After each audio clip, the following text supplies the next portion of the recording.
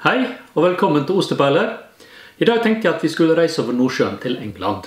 Ehm, Jeg har en eh, fascinasjon for eh, britisk ost. Ehm, Og den her, som for så vidt er en kjenning, eh, Baron Bygod, syns det er en fantastisk flott hvitmuggost i brie-stil, inspirert av Brie de Meaux. Eh, Det er en eh, bonde som heter Johnny Crickmore, og hans eh, familie. De har eh, drevet Fen Farm i, eh, i eh, ja, hvor ligger det? Eh, Bungay i, eh, i Suffolk. Um, og der har de drevet i eh, 80 år, men ikke laga ost annet enn de, de siste, siste få åra. Og denne osten her er utvikla i samarbeid med, med Nils Jahr. De dro til Frankrike for å, å lære seg å lage brie. Og resultatet syns jeg er blitt veldig vellykka. Melka får de fra egne kyr. Eh, Montbelliard, som eh, er en fransk alperase sånn sett. Og de, de reiste rundt i eh, Savoie for å eh, kjøpe inn eh, kyr som de da frakta hjem igjen. Og så la de om litt eh, gårdsdrifta slik at eh, fôr og sånn skulle passe til den rasen her, da. Um, resultatet syns jeg er blitt fantastisk godt. Den, den er litt knøvla etter transporten fra London. Den her. da. Den er dessverre foreløpig ikke tilgjengelig i, i Norge. Vi er veldig opptatt av eh, fransk brie.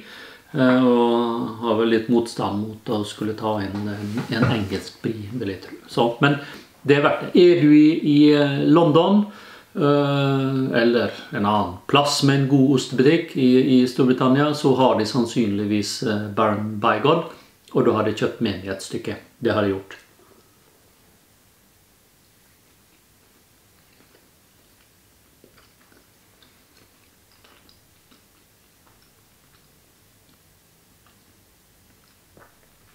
Fantastisk god ost.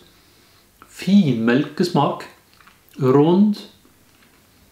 Den er ikke for moden, så den eh, har på en måte ikke begynt å, å eh, bite ennå. Men ah, syrlig. Litt sopp, naturlig nok. Eller skogsbunn, hvis du liker det. Heller. Um, å, nydelig. Det her er til å, til å maule. Sånn fin, eh, gul eh, ost. Um, konsistensen er som brie skal være. Skorpa likeens. Hvit med litt å få litt sånn eh, flekker på seg.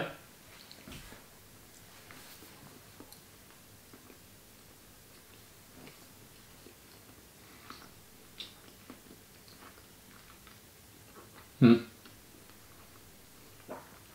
Jeg syns det er nydelig. Skorpa er litt sånn eh, kjeksaktig.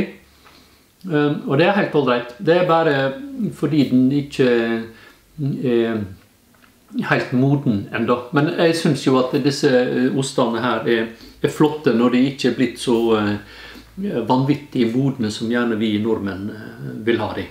Eh, Så eh, franskmennene, eh, når det gjelder bri, vil jo gjerne ha de mye ferskere enn det vi har. Og, og det samme gjelder jo for den her.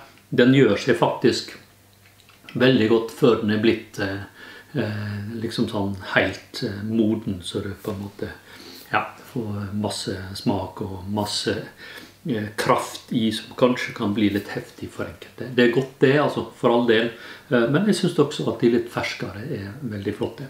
Hva, hva har til den her, da? På britisk vis en god kopp te med melk i. Eller et glass champagne. Og da vil nok jeg foretrekke et glass champagne eh, heller enn britiske bobler. Eh, Ikke noe galt med britiske bobler. Eh, De, de, eh, de, de er veldig flotte, men kanskje ikke akkurat til den eh, osten her.